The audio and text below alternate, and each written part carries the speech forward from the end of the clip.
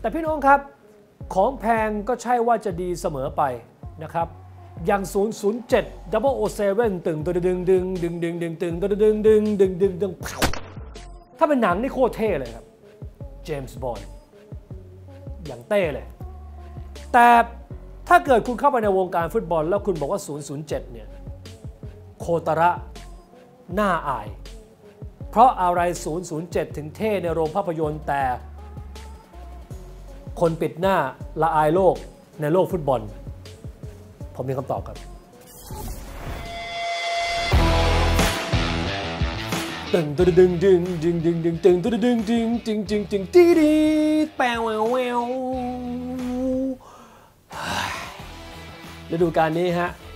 แมนเชสเตอร์ยูไนเต็ดจัดไปทุ่มงบถึงเกือบ 3,000 ล้านบาท ดึงเจเดนแซนโชปีกวัย 21 ชาว British มาจากเสือเหลืองดอร์ทมุนด์ ซึ่งทำให้เขาเป็นนักบอลค่าตัวสูงสุดอันดับ 3 ในประวัติศาสตร์ของทีมเป็นรองเพียงพอพานป็อกบาและฮอนกฮูกแมกไวร์แต่เมื่อผ่านไป 7 นัดครับ เขาได้ฉายาใหม่ว่า 007 007เพราะหลังผ่านไป 7 นัด เขายิงได้ศูนย์ประตู ใส่พานได้ศูนย์แอสซิสฉายา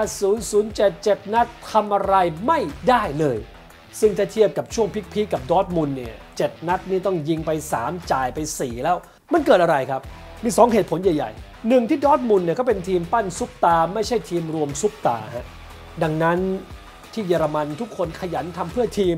ซึ่งตรงกันข้ามกับแมนยูที่มีซุปตาทั้งเนี่ยพี่โดพี่ป๊อก ดังนั้นเนี่ยเล่นที่ดอทมุนเหมือนเล่นกันแบบครอบครัว แต่เล่นในโรงละครแห่งฝันร้าย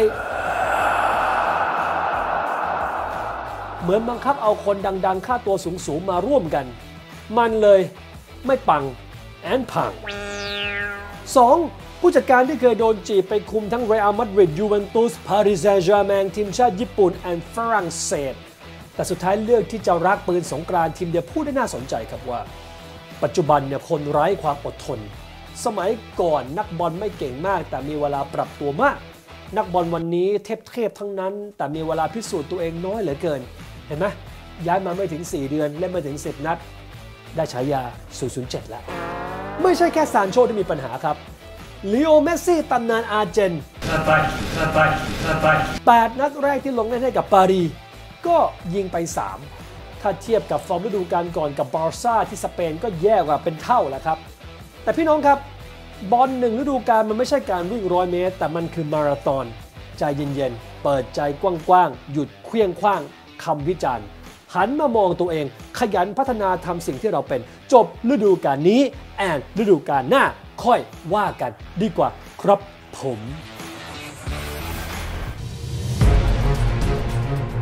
พูดเลยคนไทยไม่แพ้ชาติใดในโลก ถ้าไปอยู่ต่างชาติค่ะ มีสาวไทยคนหนึ่งค่ะ